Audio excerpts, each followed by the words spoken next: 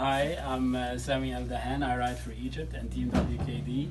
Uh, we're excited about our competition in 's-Hertogenbosch next weekend with, uh, and I'll be bringing Suma's Zorro, my good mare, the one that the winner of the Rolex Grand Slam at Spruce Meadows, and I'll be also bringing this young mare, uh, City Girl, uh, which I'm really excited about. It's gonna be nice to take her over there to, to see how she copes with the atmosphere.